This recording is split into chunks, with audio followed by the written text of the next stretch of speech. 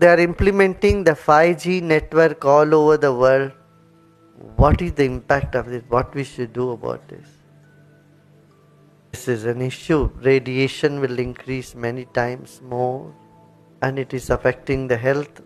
There are two options for us. One is use it less and less. Switch off your phones at home.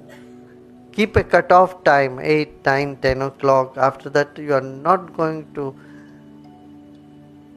release that red button till the next morning. This is one thing. Second is boost your immune system. If your immune system is strong, you have more powerful uh, energy with you, then the radiation does not affect you. You form a shield around you. And this you can do by proper food, vegetarian food, vegan food, pranayama.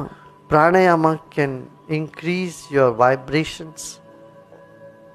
Meditation definitely doesn't, group meditation definitely has an impact.